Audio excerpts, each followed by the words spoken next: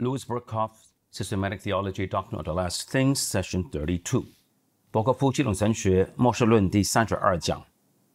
B. Scriptural proof for the resurrection，有关死人复活，就是最后的复活的圣经根据。Number one in the Old Testament，第一旧约圣经。It is sometimes said that the Old Testament knows of no resurrection of the dead or knows of it only in its latest books. 有的时候，人们会说旧约没有死人复活的概念，或者只有在最后期的书卷才有。The opinion is rather common. 啊，有一个很普遍的概念，就是 that Israel borrowed its belief in the resurrection from the Persians，就是以色列呢是从波斯人那里把 复活的信念借过来的，says Mackintosh. 这样说：Strong evidence exists for the hypothesis that the idea of the resurrection entered the Hebrew mind from Persia。我们有很强的证据支持一个假设，就是复活的概念是从波斯引进到希伯来思想的。Brown speaks in a somewhat similar vein。另外一个学者。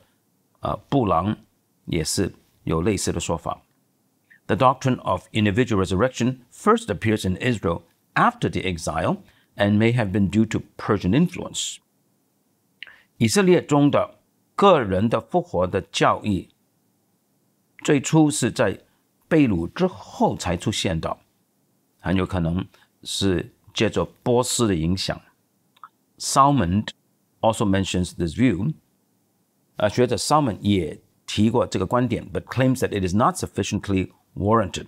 不过他宣称这个的证据不够。Says he，他这样说：The Old Testament doctrine of God is of itself enough to explain the entire history of the Old Testament concept of a future life。旧约的神论本身已经足够解释整个旧约对来生的概念的历史发展。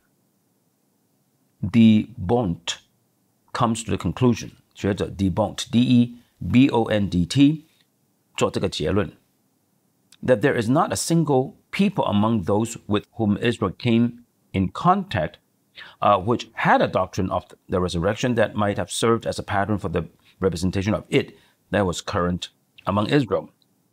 他的结论就是以色列的周遭啊，就是以色列接触过的民族，没有一个有一种的复活论呢，是可以用来做一个模式，给以色列普遍流行的啊的复活观。And that the faith in the resurrection which finds expression in the Old Testament uh, does not find its basis in the religions of the Gentiles, but in the revelation of Israel's God. 还有，以色列人相信身体复活，就是在旧约表达出的复活概念呢，它的根据不是外邦人的诸般的宗教，乃是以色列的上帝所启示的。It is true that we find no clear statements respecting the resurrection of the dead before the time of the prophets。没有错，在先知时期之前，就没有清楚的论述到死人复活。Though Jesus found that it was already implied in Exodus 3 6, uh, referred to Matthew 22, 29 to 32. 虽然呢，耶稣基督认为呢，早在出埃及记第三章第六节就已经暗示着复活的。参考马太福音二十二章二十九到三十二节。And the writer of the Hebrews intimates that 另外就是希伯来书的作者也暗示着说，that even the patriarchs looked forward to the resurrection of the dead，就算先祖们就是亚伯拉罕、以撒、雅各等等，都期待着从死里复活的。希伯来书十一章的第十节、十三到十六节和十九节。Certainly, evidences are not wanting that there was a belief in the resurrection long before the exile. 肯定的是，我们并不缺乏证据证明了，在被掳之前，老早神的子民就相信从死里复活的教义的。It is implied in the passages that speak of a deliverance from Sheol。 一些经文说到从阴间被救出来，就暗示着这一点了。诗篇四十九篇十五节，诗篇七十三篇二十四、二十五节，还有箴言二十三章十四节。It finds expression in the famous statement of Job，在约伯著名的讲论中就表达出来了。约伯记十九章二十五到二十七节。Moreover，不但如此，it is very clearly taught in Isaiah twenty six nineteen, a late passage according to the critics。很清楚，在以赛亚书第二十六章十九节有教导。这个教义根据批判圣经的学者们，以赛亚书是很实在写出来的。And in Daniel twelve two，还有在但以理书十二章二节，and is probably implied also in Ezekiel thirty seven one to fourteen，还有在以西结书三十七章一到十四节， 大概也是暗示着的。Number two in the New Testament。第二，新约圣经的证据。As might be expected, the New Testament has more to say on the resurrection of the dead than the Old. 我们可以预期着新约圣经比较旧约圣经呢，在死人复活这件事情上有更多的讲论，because it brings the climax of God's revelation on this point in the resurrection of Jesus Christ. 因为 新约把上帝对复活的启示呢。在耶稣基督复活这件事情上带到他的高峰了。Over against the denial of the Sadducees, Jesus argues，耶稣反驳撒都该人的不相信复活，反驳他们的否认。耶稣这样说：Jesus argues the resurrection of the dead from the Old Testament。耶稣从旧约论述到使人复活的。马太二十二章二十三到三十三节，and parallels，还有啊其他的。平衡的经文的参考，出埃及记三章第六节。Moreover, he teaches that great truth very clearly. 不但如此，耶稣很清楚的在一些的经文里教导这个复活的伟大的真理。约翰福音第五章二十五到二十九节，约翰福音第六章三十九、四十、四十四和五十四节，约翰福音第十一章二十四和二十五节。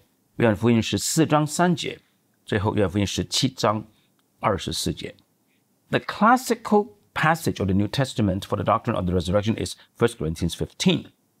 新约圣经论到复活的教义的经典经文是哥林多前书第十五章。Other important passages are 其他重要的经文包括 帖撒罗尼迦前书四章十三到十六节。哥林多后书五章一到十节，启示录二十章四到六节。不过，对这段经文的解释是可疑的。最后，启示录二十章第十三节。C. The nature of the resurrection. 复活的性质。Number one, it is the work of the triune God. 第一点。复活是三一真神的作为。The resurrection is the work of the triune God。复活是三一真神所做成的作为。In some cases, we are simply told that God raises the dead, no person being specified。有些经文说到上帝使死人复活，没有指明是哪一个位格。马太二十二章二十九节，哥林多后书一章九节。 More particularly, however, the work of the resurrection is ascribed to the Son，不，有的时候呢，复活这个大功呢是归给圣子的。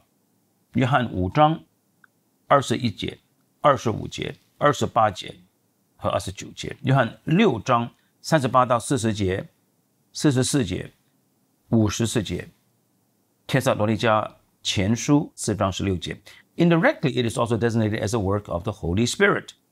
另外，有的时候也间接的。指圣灵是使人复活的，罗马书第八章第十一节。所以死人复活的三一真神。Number two，第二点，it is a physical or bodily resurrection。这个是一个物质身体上的复活。There were some in the days of Paul who regarded the resurrection as spiritual。在保罗的 时代，就有些人认为呢，复活是属灵的而已。提摩太后书二章十八节。And there are many in the present day who believe only in a spiritual resurrection。 到了今天，也有很多人只相信一个属灵的复活的。But the Bible is very explicit in teaching the resurrection of the body。但是经文是明文教导身体的复活的。Christ is called the first fruits of the resurrection。耶稣基督被称为从死里复活的初熟的果子的。哥林多前书十五章二十节和二十三节，and the firstborn from the dead，还有从死人复活的投生者。哥罗西书第一章十八节，启示录一章五节。This implies that 这个就暗示着说，the resurrection of the people of God will be like that of their heavenly Lord。 上帝子民的复活就会好像他们在天上的主耶稣一般。His resurrection was a bodily resurrection, and theirs will be of the same kind。基督的复活是一个身体上的复活，信徒们的复活也是同类的。Moreover, 不但如此，the redemption wrought by Christ is also said to include the body。基督所成就的救赎也包含了身体的救赎的。罗马书八章二十三节， 哥林多前书六章十三到二十节。In Romans eight eleven，在罗马书八章十一节，we are told explicitly that God through His Spirit will raise up our mortal bodies。上帝借助他的灵会使我们必死的身体复活的。And it is clearly the body that is prominently before the mind of the apostle in 1 Corinthians 15. Refer especially the verses 35 to 49. 在格林多前书第十五章呢，使徒保罗特别想到的就是人的身体，特别格林多前书十五章三十五到四十九节。According to Scripture, there will be a resurrection of the body。根据圣经，将会有一次的身体复活。That is not an entirely new creation。意思就是说，不是一个完全新的创造 ，but the body that will be in a fundamental sense identical with the present body，乃是一个身体，在一个很基本的意义上是与现今的身体是同一个的。God will not create a new body for every man。上帝不会为每一个人创造一个新的身体，but will raise up the very body that was deposited in the earth，而是使那个存在地里的那个身体本身复活起来。This cannot only be referred from the term resurrection, but is clearly stated in Romans 8:11, 1 Corinthians 15, 53. 这个不单单是可以从“复活”这个字引申啊、呃、推论出来，也是很清楚的，在罗马书八章十一节、哥林多前书十五章五十三节指出到，and is further implied in the figure of the seed sown in the earth, which the apostle employs in 1 Corinthians 15, 36 to 38. 进一步的，圣经接着在哥林多前书第十五章三十六到三十八节，使徒保罗所用的一个种子埋在地上这个比喻，就暗示着是从一个身体复活的。Moreover，再进一步说，Christ, the first fruits of the resurrection, conclusively proved the identity of his body to his uh to his disciples。耶稣基督就是那位从死里复活的初熟的果子呢。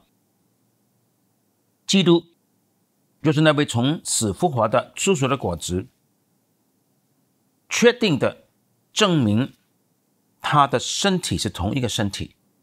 在他复活之后，他向他的门徒们显现他的身体。At the same time, Scripture makes it perfectly evident that the body will be greatly changed。同时呢，圣经特别清楚的指出，这个身体会经历大大的改变。Christ's body was not yet fully glorified during the period of transition between the resurrection and the ascension。在基督复活之后，他升天之前这段时间呢，耶稣基督的身体这个过渡时期呢，还没有完全被荣耀的。Yet it had already undergone a remarkable change。但是身体已经经历一个奇妙的改变。Paul refers to the change that will take place when he says that in sowing a seed, we do not sow the body that shall be。保罗说，当我们撒种种埋在地上的时候，我们不是撒一个将来的那个种子。他这样子就指出将来会有的这个改变。We do not intend to pick the same seed out of the ground。我们把种子埋在地上，将来收成的时候，我们并不是收获同一个种子的。Yet we do expect to reap something that is in a fundamental sense identical with the seed deposited in the earth。但是我们会期待将来收成的时候，所收成的是与那个埋在地里的种子在基本上是啊同样的一个事物。While there is a certain identity between the seed sown and the seeds that develop out of it, yet there's also a remarkable difference.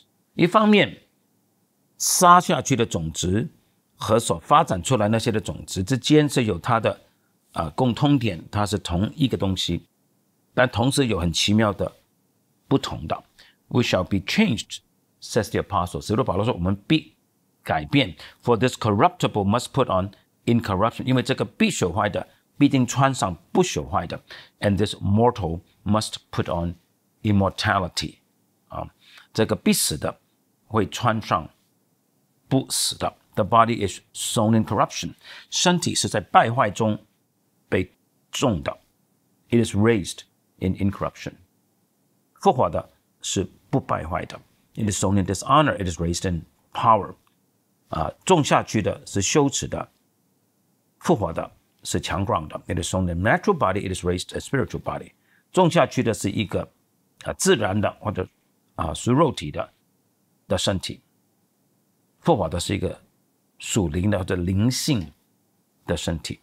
Change is not inconsistent with the retention of identity。身份是一样，是同一个的身体。但是不排除有改变，这两者不是不一致的。We are told that even now, every particle in our bodies changes every seven years。现在我们已经知道， 在我们身体的每一个细胞、每一个细节，每七年就改变了。But through it all, the body retains its identity。但是经过这么长的过程呢，身体仍然是同一个。there will be a certain physical connection between the old body and the new。